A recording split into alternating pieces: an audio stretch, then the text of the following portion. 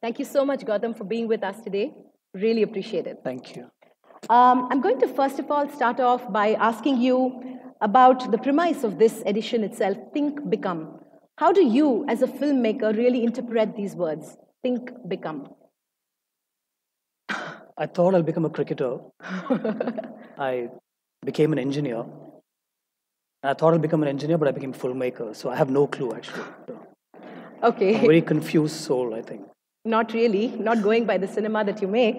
Um, um, if we were to apply the idea of think and become to the idea of a character and a story, both of which are integral aspects of cinema, what would you think is the interrelationship between character and a story?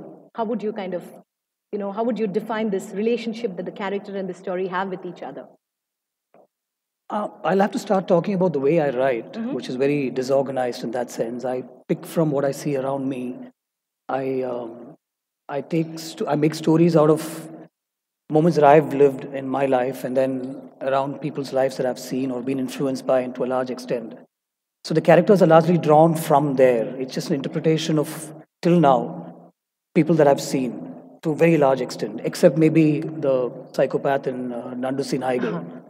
You know, and uh, some We have to be really careful now Yeah, that yeah. you might just pick one yeah, of which, which is a favorite line of mine. Okay. When I meet somebody new, I always ask them, "How do you know I'm not a serial killer? You're spending so much time with me." You know, so and also the antagonists are largely drawn and inspired by something in my head. I, I transport into those characters and see if this is the way they will be.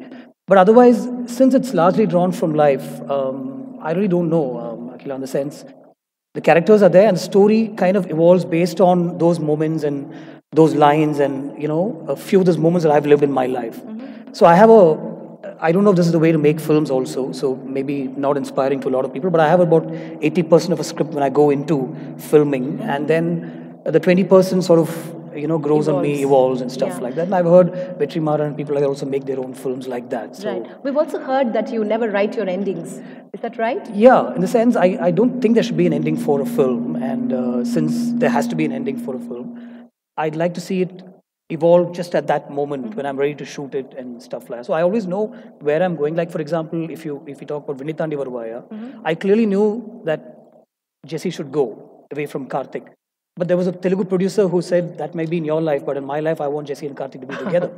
so the Telugu version had a, you know, the Telugu version had a happy ending, so to speak, which is happy for her, the producer, I mean. But for me, for it was not a, yeah, it was not a happy ending for me because for me, so much of life comes around if somebody goes away from you. You know, you draw from that. Karthik was able to draw from that and make a film.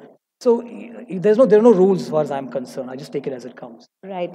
Um, you know, my next question was really about again going back to the think become. Sometimes we think, and sometimes think don't things don't become. You, know, for instance, your um, much talked about film ENPT is, and uh, you know, it's been it's been a trying phase for you professionally. yes. Uh, what have the learnings really been like? Well, I'm, I'm, I'm a victim of the business of filmmaking, not, not the creative process of filmmaking. That's hopefully still there. I think when I was able to narrate to Dhanush the idea, he liked it and he said, let's go for it immediately and all that stuff. And I've shot the film in 55 days, but it's spread over two and a half years. Uh, it's only because there was no funding coming in when we wanted it to. And uh, um, other than the three, four of us who worked for the film, and I don't mean the actors, it's just the team, nobody else was supportive of the film for some strange reason. You know, everybody, when it came to their own film, they put in a lot more effort. But I guess for this one, they didn't really put in so much of effort. So we are, we got stuck. We went really down. But at some point, I decided there's no more space to go down.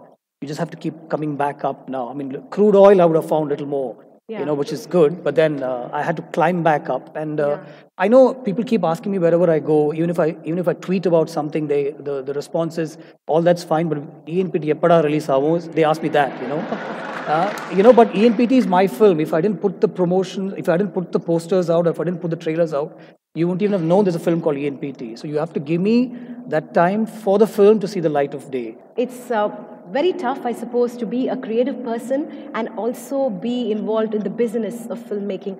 How do you sort of, how do these things, are they compartmentalized? How do you kind of turn one switch on yeah. and turn off the other? How does that work? So, again, I can just sit back and have a producer come in, fund the entire film, mm -hmm. just give it the vision that I want and mm. go away. But somewhere, the creative process is questioned um, either way, Numa, இப்படி போலாமா அப்படி போலாமா questions are put in and that I, I'm not I'm not carrying an ego where I'm where I'm saying nobody knows better. not at all. I'm a team player. I love the team and all that stuff.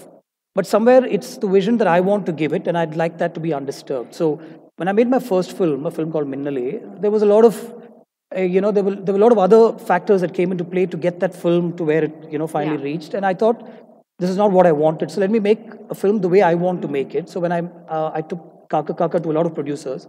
And finally, Mr. Thanu said, I will just give you this much of money, you make the film. I will not interfere in the creative process, which I liked. Yeah. But with all due respect to Mr. Thanu, he's been a you know person who's looked out for me always, and he wouldn't mind me saying this also. And I hope it won't go out to him, but I know you guys will put it out and everything.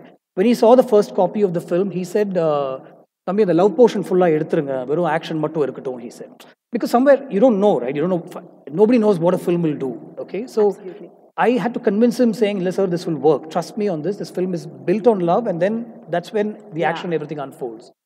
So somewhere he, but it was a trying time for me. For about 10 days, the discussion was how much to remove, how much to keep, and all that. That also stayed in my head to a large extent. So I thought, let me just go out and make my own films, put in my own funds, or bring in funds from people who will not mind, you know, investing that money over a period of six to eight months. Right. But then there are people who also want it to be done a certain way, and then you mm-hmm. start getting on top of your head and then Yeah. dictating terms and stuff. So it's always that that you have to face. If I want to be creatively satisfied and if I want to do my own stuff, then I have to bring my own funds and work. Yeah. But it's not easy, right? So then you have to work with other people. So that Work balance you have to yeah, strike. yeah. Absolutely. When things finally become, you sometimes wish that they were envisaged differently? I mean, can you speak about this in specific reference to maybe one of the films that you have made?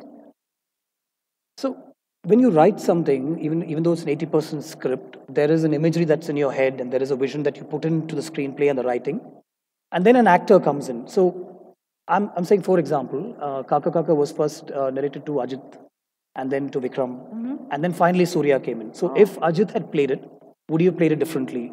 If Vikram had played it, I know how he would have played it. Surya was a friend. There was a lot more discussion. You know, we we had you know, that kind of stuff was happening. Right. You know, so there was a lot of discussion and there was a lot of uh, collaborative, uh, collaborative yeah. effort. You know, the same Surya in Vaaranam Aayiram was a little more.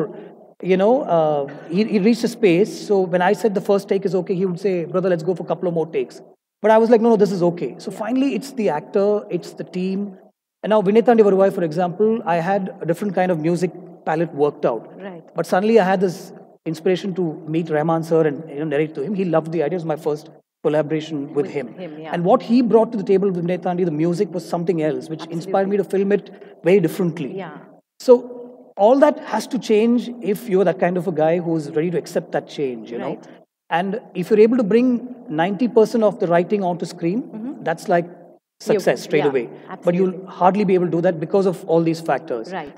But with the team bringing in that 90%, you're really happy and thankful. Gautham, how important do you think is it for you to keep thinking amidst the chaos of your life, navigating human egos, producers, relationships? How do you kind of find the time to really cut the noise out? So that's what keeps me going. Like from the time I was in the 10th standard, from the time I saw a film called Nayagan by Mani Sir, I started writing. I started writing short stories, lines, just an idea. And then obviously looking around my sisters, my mom, there's so much inspiration from home itself. Mm-hmm. Um, you know, and then my college life, the friends I interacted with.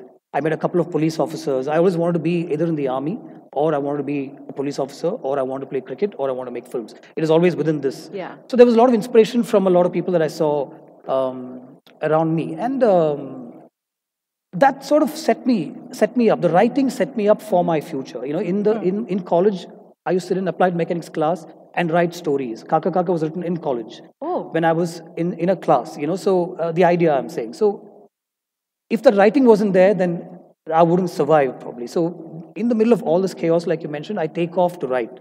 I make the time to write, and it's that content that's still keeping me going, and hopefully keeping me still new age with the crowd evolving and stuff Yeah, like that. you know, so, Absolutely. yeah. um, you know, now with uh, web streaming portals like Netflix, Amazon Prime, Hotstar, what is to really become of the future of cinema? When did you last go to the theater? Ouch. Been a while. Yeah, so I think it's come to a point where a new film releases, and I've heard people saying in three weeks, la Amazon la vandrum adala paathalam, you know. Uh, seriously. So it's scary, but I'm not scared because as long as good content can come from filmmakers, the platform doesn't matter. You know, absolutely. It's when you when you when you start writing content for heroes, when you start writing content to suit a hero's image, then you're lost as a filmmaker. The hero should come into your content. Yeah. If you're writing content saying the hero wants to be an organic farmer, he wants to be a politician, he wants to become chief minister at some point in his life, it's not, you know, you've lost as a filmmaker. And that's when you sit back at home and think these films will anyway come on these portals. But if you're able to still bring the audience to the theater, and I'm a I'm an old world guy, you know, I, I completely believe in family, marriage, movie halls, popcorn, all that stuff, you know. So I'm just saying, I'd love to sit in a theater and watch. And I think today it depends on can you bring the audience to the theater with that kind of content? Right. Yeah. Um, also, your biopic, Queen, inspired by the life and times of our former Chief Minister, Dr. J. Jayalalitha, Yeah. is all set for a launch. Yes. How did you think about that idea? So again, um, just just like the question that you asked me, I was also a little hesitant as to whether I should, you know, foray into the digital space, the mm-hmm. web series space, because while two big films are in production and also, you know, trying to find their feet and mm-hmm. release mm-hmm. and all that, people might easily diss you off saying, oh, inge edume illa, and all that stuff. Yeah. You know, they, they look at it like that, yeah. but then doesn't, doesn't matter. For me, I read the content um, and I said, wow, this is brilliant content. I must be a part of this. Yes, as producers, we were part of the content and we put together the content and all that. It was written by my partner Reshma. Uh, but then I thought I must film this. And it's the first time I went to film something that somebody else had envisioned. You know, it was, the imagery was completely hers. Set. So I was putting myself into it as a filmmaker, and I loved that. Yeah. This year, actually, just to make the session more inclusive, we've also crowdsourced a whole bunch of questions, but we're running out of time. But I definitely have to ask you a question on Vaaranam Aayiram. What Okay. is considered to be your, perhaps your epic film? And really, I want to know what is your own relationship with that film? So Vaaranam Aayiram initially was an idea that I narrated Surya, where I said this is a coming of age story of a boy mm-hmm. who we see at from the time he's born to when he's five to when he's eight, when he's 13, 14, first love, and at 21, a heartbreak sort of thing. And then at 26, 27, he's in the Indian army. Hmm. This is just what I narrated to him.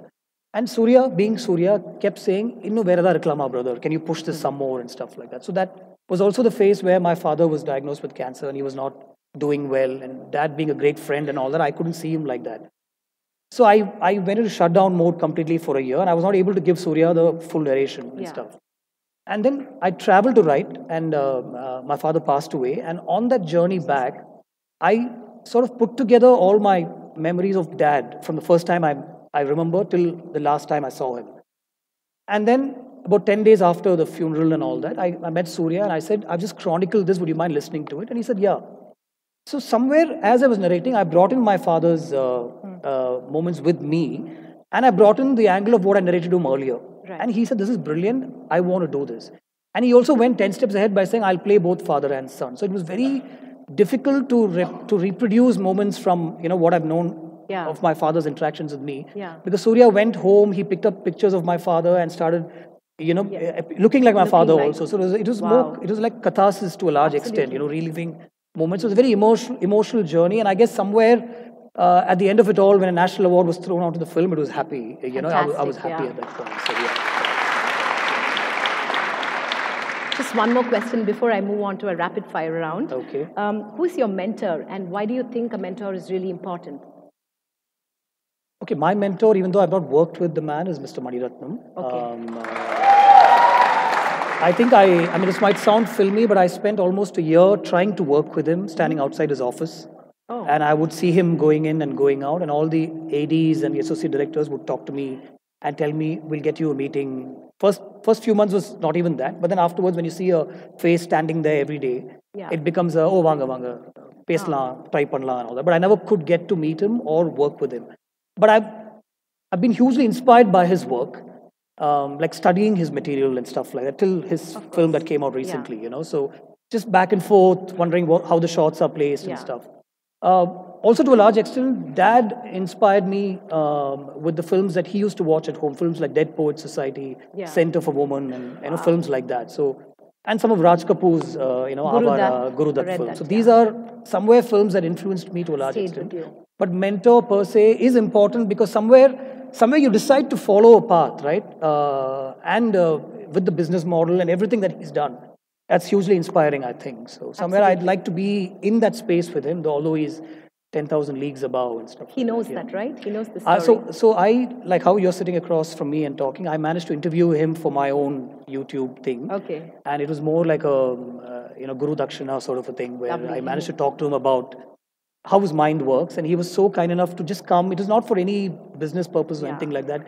In the middle of all his work, he didn't have to come and talk to me, but we spent about one and a half hours with three cameras Right. filming, and uh, you know I had my say. Yeah. Lovely. I'm just going to do a Karan Johar on you now. Okay. Uh, in order of preference, please rate the following films Kaakha Kaakha, Minnale, Vinnaithaandi Varuvaayaa, Varanamayiram, Vettayadu Vilayadu. Vinnaithaandi Varuvaayaa, Varanamayiram, Kaakha Kaakha, Vetadu Vilayadu, and Minnale. Okay. If there's one thing you could change about Nadunisi Naaygal, what would it be? I changed the director, I think. Maya or Jesse? Who's your type? They're completely contrasting people. that's fine. Maya's firebrand, Jesse is Jesse. Jesse is me, actually. Okay. Jesse is largely me, you know. So if somebody tells me you don't know how a woman, woman's mind works, they're wrong because Jesse was completely me. Um, but I'd pick Jessie any day because she's lovely. me. Yeah. Your favorite composition of Harris Jayaraj? வேணும் சொல்லு Tarantino or Woody Allen, who's your go-to after a long day at work? Woody Allen. Woody Allen? Yeah. Okay. What's the last film you watched on the big screen? NGK. The film you watched the most number of times? Scent of a Woman. Thank you very much. Thank you so much. It was a pleasure.